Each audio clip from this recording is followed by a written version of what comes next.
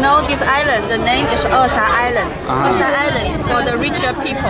Okay. Uh, they build the villas there. One, uh, each villa about uh, how much dollar?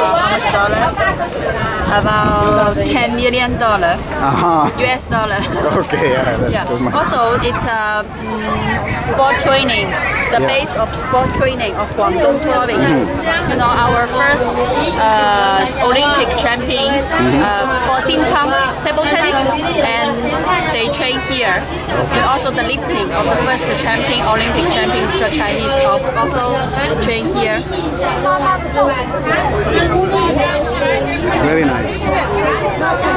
漂亮嘅景色。